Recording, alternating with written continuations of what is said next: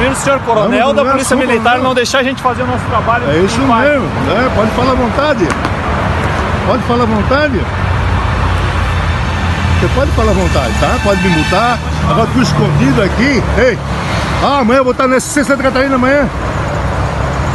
Ó, viatura da Polícia Rodoviária Federal, escondida atrás da rodoviária. Aqui é a marginal. Olha só, aqui é a marginal. E aqui a viatura da Polícia Rodoviária Federal. E ali dentro do mato ali, o policial rodoviário multando as pessoas que estão em de velocidade. esse aliado para ter uma força para realmente ah, fazer alguma coisa, sabe? O Elon Musk, olha lá, Elon Musk, o cara mais rico do mundo. Na verdade, ainda, na verdade, passaram ele, né?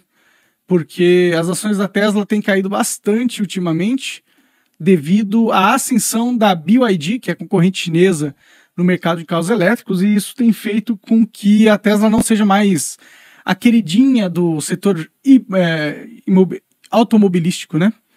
E o pessoal está querendo investir ah, no mercado maior que o mercado chinês, né? Mas ainda é, sei lá, o terceiro cara mais rico do mundo. É inegável que, tirando a qual é a posição dele no, no ranking de quem tem mais dinheiro, é um cara extremamente influente na cultura americana moderna. Ele- ele- além de ser rico, ele é muito famoso, ele tem um following muito grande, tem até um certo culto à personalidade. Então, é um cara que demanda muito poder, né? Em várias esferas. Ele tem várias esferas de influência, tanto empresariais, governamentais, ah, intelectuais, financeiras. Então, é um cara de calibre alto no mundo. É um cara elevado, assim, sabe? Não é pouca bosta. Senhor Elon Musk não é pouca bosta. Você pode não gostar dele, você pode achar várias coisas dele aí, a esquerda odeia ele pra caralho, mas é inegável que ele é um ser humano diferenciado, né? O cara tem uma empresa que lança foguete, que foguete que dá ré, tem a empresa de carros elétricos, revolucionou o mercado de carros elétricos, aí ele compra o Twitter, aí ele luta pela liberdade de expressão, aí ele dá a internet para não sei aonde, internet no mundo inteiro. Pô, o cara só faz coisa absurda, entendeu?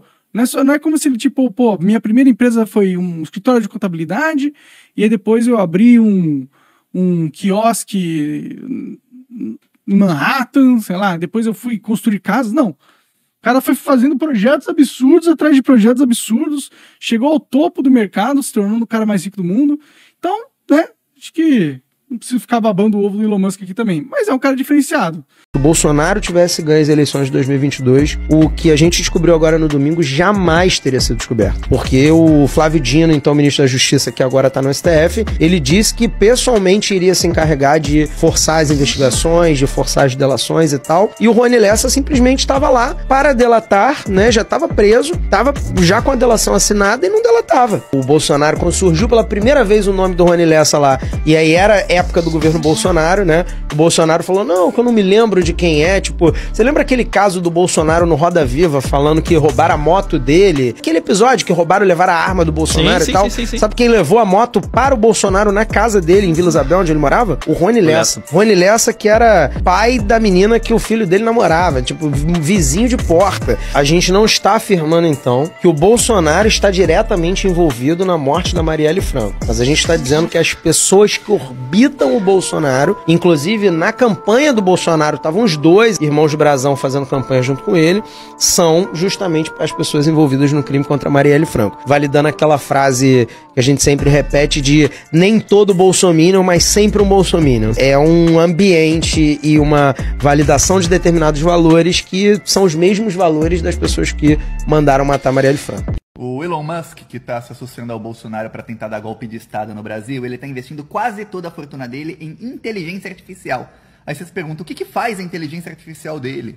Estadão, inteligência artificial do Elon Musk pode ensinar a fazer bombas e a seduzir crianças.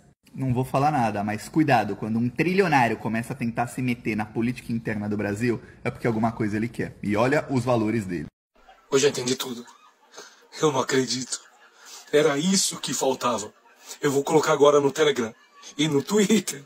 No Twitter. Alô, Brasil. Mudou. A grande mudança já começou. Não se preocupem mais com o mito. Ele já está protegido em lugar seguro. O próximo presidente do Brasil será Elon Musk. É isso mesmo. O homem das liberdades. todos poderão falar o que quiser no Twitter. E a proposta do Elon, o Musk, é que não existam fronteiras. Cada um fale o que quiser. É isso. Deus, pátria, família, conhecereis a verdade e a verdade vos libertará. Elon Musk. Talvez até Bolsonaro seja vice. Mas por favor, corram nos grupos. Eu já tô aqui, ó, no meu Telegram, colocando no grupo do Deus, pátria e família.